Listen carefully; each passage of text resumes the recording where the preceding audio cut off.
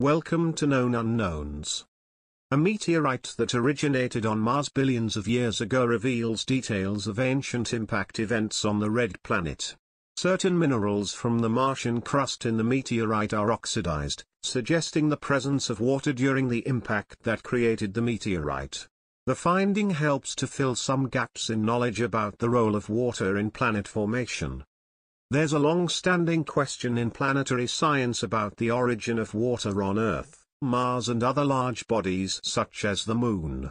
One hypothesis says that it came from asteroids and comets post-formation. But some planetary researchers think that water might just be one of many substances that occur naturally during the formation of planets. A new analysis of an ancient Martian meteorite adds support for this second hypothesis. Several years ago, a pair of dark meteorites were discovered in the Sahara Desert.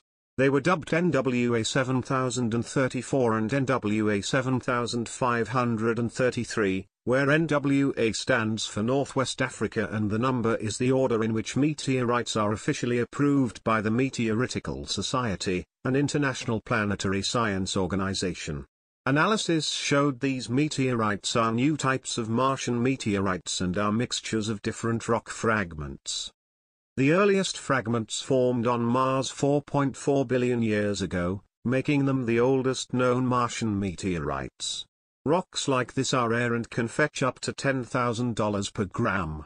But recently 50 grams of NWA 7533 was acquired for analysis by the international team in which Professor Takashi Mikouchi at the University of Tokyo was participating. I study minerals in Martian meteorites to understand how Mars formed and its crust and mantle evolved. This is the first time I have investigated this particular meteorite, nicknamed Black Beauty for its dark color, said Mikouchi. Our samples of NWA 7533 were subjected to four different kinds of spectroscopic analysis, ways of detecting chemical fingerprints. The results led our team to draw some exciting conclusions. It's well known to planetary scientists that there has been water on Mars for at least 3.7 billion years. But from the mineral composition of the meteorite, Mikouchi and his team deduced it's likely there was water present much earlier, at around 4.4 billion years ago. Igneous clasts, or fragmented rock, in the meteorite are formed from magma and are commonly caused by impacts and oxidation, said Mikouchi. This oxidation could have occurred if there was water present on or in the Martian crust 4.4 billion years ago during an impact that melted part of the crust. Our analysis also suggests such an impact would have released a lot of hydrogen, which would have contributed to planetary warming at a time when Mars already had a thick insulating atmosphere of carbon dioxide.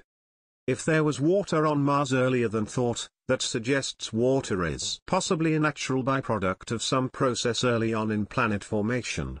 This finding could help researchers answer the question of where water comes from which in turn could impact theories on the origins of life and the exploration for life beyond Earth.